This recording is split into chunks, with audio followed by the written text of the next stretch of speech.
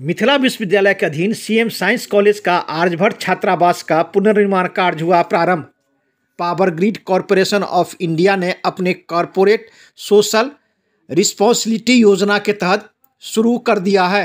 आपको बता दें कि इसी महाविद्यालय के पूर्ववर्ती छात्र एवं power grid corporation of India limited के पूर्व मुख्य महाप्रबंधक इंदुशेखर झा इसी महाविद्यालय के उन्नीस सौ बहत्तर बैच के छात्र रह चुके हैं।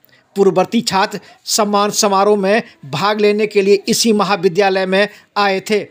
उसी समय इन्होंने मन से कहा था कि आर्यभट्ट छात्रावास का जीर्णोद्धार हम अपने विभाग से कराएँगे। उसी के तहत यह निर्माण कार्य प्रारंभ हुआ है। वहीं 23 सितंबर 2020 को स्वतंत्र प्रभार केंद्रीय ऊर्जा राज्य मंत्री आर के सिंह ने इसका ऑनलाइन शिलान्यास भी कर चुके हैं। आपको बता दें कि इस आर्यभट्ट छात्रावास से बिहार के नामचीन राजनेता कर्पूरी ठाकुर, ललित बाबू जैसे राजनेता यहाँ से इस छात्रावास में रहकर पढ़ चुके हैं। बहुत ऐसे नामचीन हैं जो अपने बिहार के साथ साथ देश नहीं, विदेश में भी पंचम लहरा रहे हैं। इस छात्रावास का तो यही इतिहास है। सात करोड़ तीन लाख की लागत से इसका निर्माण कार्य होना है। इसमें 150 बेड बनेगा। यह एक वर्ष में यह छात्रावास अत्याधुनिक तरीके से बनकर सुसज्जित होगा। अधिक जानकारी देते हुए सीएम साइंस के वरीय शिक्षक एवं पूर्व एमएलसी डॉक्टर दिलीप चौधरी ने जानकारी दी। दरभंगा दर्शन न्यूज़ से मनोज झा। और बड़े बड़े नेता यहाँ से इस हॉस्टल में रह के पढ़ाई की। राजनीति क्षेत्र में भी उन्होंने अपना काफ़ी योगदान दिया। मिथिलांचल सहित बिहार में में उनका नाम रोशन रहा। पुनः इसका निर्माण कार्य शुरू हो रहा है। क्या कहेंगे आप? चंदारी मिथिला विज्ञान महाविद्यालय वो न्यू हॉस्टल था पहले। उसका नाम बदल के साइंटिस्ट के चूँकि विज्ञान का वो हॉस्टल था, इसीलिए उसको आर्यभट्ट छात्रावास किया गया। यह सही है कि इसमें पूरे नामचीन हमारे महान नेता जो राजनीतिक थे, उन लोगों का भी उसमें छात्रावास में रहे हैं।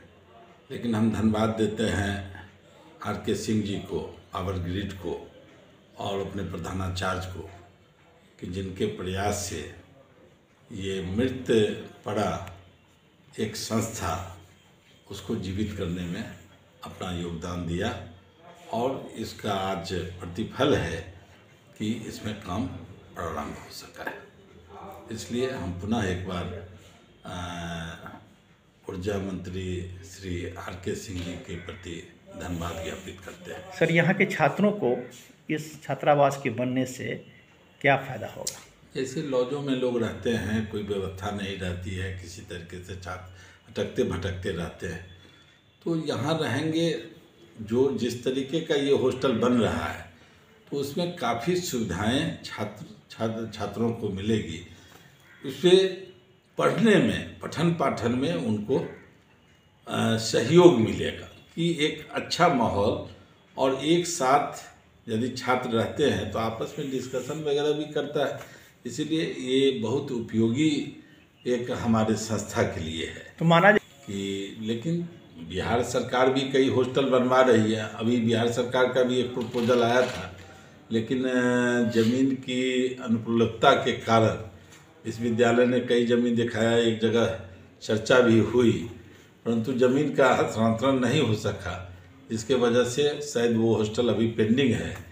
तो बिहार सरकार और भारत सरकार दोनों चाहती है जो कि छात्र छात्राओं को सुविधा मिले, जो अपने कैंपस में रहें और डिसिप्लिन से अनुशासित होकर पठन पाठन का काम करें।